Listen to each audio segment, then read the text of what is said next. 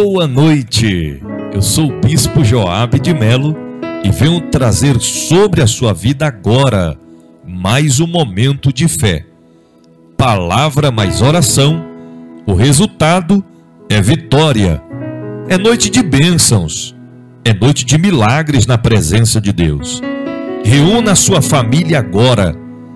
Fique comigo até o final deste momento de fé pois eu tenho uma palavra da parte de Deus para o teu coração nesta noite.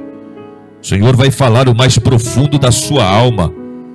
Prepare para vencer desafios e para obter vitórias. Deus vai realizar os teus sonhos, mas é importante se entregar a Ele em espírito e em verdade. Obedecer a Sua palavra, seus mandamentos, preceitos estatutos, ordenanças e as suas leis. Seja fiel a Deus em tudo. Seja fiel a Deus no pouco, e no muito ele te colocará. Eu tenho uma palavra da parte de Deus para compartilhar com você nesta noite. Mas antes de nós estarmos meditando na palavra desta noite, eu quero convidar a você, juntamente com sua família e amigos, que ainda não são inscritos em nosso canal, a se inscrever agora, ativar o sininho das notificações e clicar em todos, para que todas as vezes que entrarmos com mais um momento de fé, você seja notificado e venha participar juntamente conosco. Deixe o joinha, o like para fortalecer o canal e escreva o seu pedido de oração. Após escrever o seu pedido de oração, escreva a palavra profética, palavra mais oração, o resultado é vitória. Assim você estará profetizando que após este momento de palavra mais oração, o resultado da parte de Deus na sua vida, em todas as áreas e sentidos, será de grandes vitórias. E nos ajude a chegar à meta dos 100 mil inscritos em nosso canal compartilhando este momento de fé com o máximo de pessoas que você puder e as convidando a se inscrever em nosso canal. Assim você estará sendo fonte de bênçãos nas mãos de Deus, para que centenas e milhares de outras pessoas também sejam alcançadas pela palavra do Deus da Bíblia. Vamos meditar na palavra desta noite. Salmos 30, versos de número 5 porque a, a sua ira dura só um momento, no seu favor está a vida. O choro pode durar uma noite, mas a alegria vem pela manhã. Queridos, nós servimos um Deus que Ele conhece o mais profundo do nosso coração. Ele sabe o que diariamente nós enfrentamos. Ele conhece as nossas dores, sabe das nossas limitações, conhece a causa de cada um de nós. Todos os detalhes ele sabe. Teus questionamentos, aquilo que você tanto tem clamado a Deus. Os momentos de aflições, de angústia, de dor, de agonia, Quantas vezes você entrou em desespero sem saber o que fazer? Sem saber para onde ir? À espera de um milagre, à espera de um, ombro amigo, de uma mão estendida e não encontrou para si. Quantas vezes a tristeza bateu a porta do seu coração e você se sentiu sozinha, sozinho, no meio da batalha a ponto de pensar em desistir de tudo por não suportar as dores da provação. Tantas noites vendo o dia amanhecer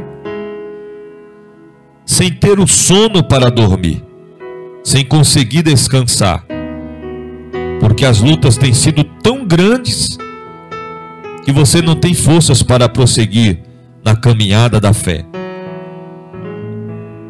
às vezes chora, clama, e não entende, não consegue compreender por que está sofrendo tanto. Porque as lutas a cada dia têm só aumentado, portas têm se fechado, pessoas que você tanto contava virou as costas para você no momento que você mais precisou. Você procurou de todas as maneiras resolver a situação do seu jeito, mas não teve êxito, não conseguiu solucionar. Eu quero lhe dizer que esta palavra é para você. O Senhor reservou esta noite para falar o teu coração. E o que Ele quer falar com você nessa noite? Quem sabe você está dizendo, Senhor, eu preciso de uma palavra. Eu preciso ouvir a tua voz através desta palavra. O Senhor reservou esta noite para lhe dizer que o choro pode durar uma noite, mas a alegria vem pelo amanhã. Chega de sofrimento. É momento de você se entregar a Deus por completo. Entrega o teu coração, a tua vida, o teu caminho ao Senhor. Confia nele, o mais ele fará. É momento de você servir a Deus e dar o seu melhor para Ele. Se entregar a Ele por completo e dizer: Senhor, faz de mim um instrumento nas tuas mãos. Deixa Deus usar você. Deixa Deus te renovar, te fortalecer, te alegrar nesta noite. Chega de fugir do chamado de Deus. Chega de tentar se esconder da responsabilidade. É com você mesmo que o Senhor está falando. Você tem tentado fugir daquilo que Deus tem para a sua vida. Deus está te chamando para uma grande obra. E você tem tentado se afastar do propósito de Deus. O Senhor está dizendo: vem depressa, meu filho. Vem depressa, minha filha. Este choro durou uma noite inteira, mas a alegria está vindo pela manhã. Deus alegrar o teu coração.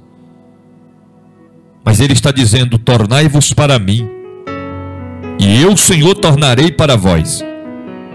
Quando me buscardes de todo o coração, o Senhor está dizendo que vai entrar com providência na sua vida. Ele vai lhe abençoar. Mas Ele não quer apenas te abençoar, mas Ele quer fazer de você uma bênção nas mãos do Senhor. Deixa ser usado por Deus e Ele há de conceder coisas extraordinárias através da sua vida para lhe abençoar. Vamos orar agora. É momento de falar com Deus. Deus da Bíblia, aqui estamos diante da tua presença nesta noite.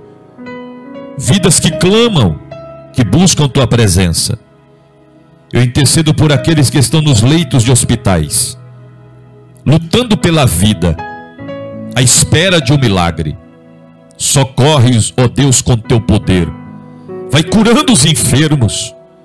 Senhor, usa, ó Deus, a equipe médica, os médicos, os técnicos de enfermagem, os enfermeiros, os auxiliares, todos que trabalham na, na área da saúde. Usa eles como instrumentos, ferramenta nas tuas mãos.